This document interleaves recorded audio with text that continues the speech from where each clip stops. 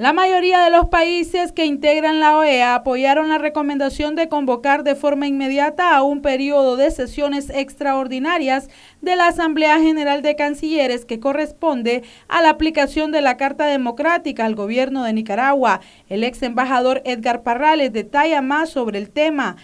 Hubo participación de algunas instancias este, privadas internacionales, como por ejemplo Amnistía Internacional y Diálogo Interamericano, que definitivamente pusieron al descubierto toda la barbarie que aquí en Nicaragua se ha venido cometiendo por parte del gobierno contra la población. También hablaron algunas madres y familiares de presos políticos, que, expresando pues no solamente digamos, las torturas y vejámenes que sufren ellos en las cárceles, sino la persecución y acoso que reciben también los familiares en sus casas de habitación, con pintas en la, amenaza en las paredes, con acoso en la calle por parte de, paramilitares y otros este, comportamientos así también agresivos e indebidos. De los este, embajadores representantes permanentes que han hablado,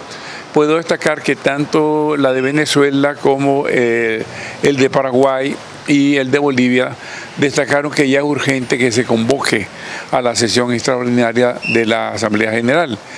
Otros solamente se limitaron a, digamos, a lamentar, puesto que se, digamos, tomaban nota de, lo, de todo lo informado, se lamentaban de lo que en Nicaragua ha estado sucediendo y ellos hablan de que se insiste en un diálogo, eh, promover un diálogo sincero y abierto entre el gobierno de Nicaragua y la oposición. No sabemos qué actitud vayan a tomar a la hora de una votación, pero sigue, siguen las intervenciones y posiblemente en un rato largo que terminen las distintas intervenciones se tomará la decisión.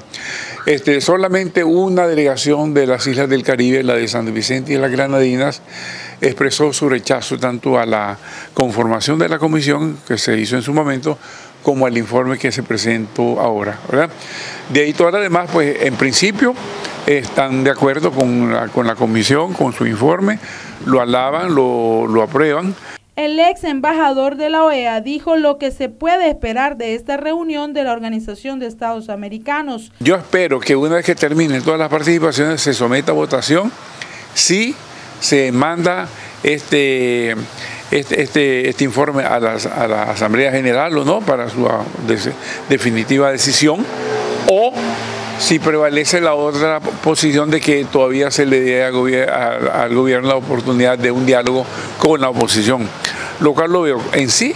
como diálogo no lo veo yo factible, sería darle más largas al, al asunto y más, más tiempo al, al, régimen para que siga en su tosudez, ¿verdad?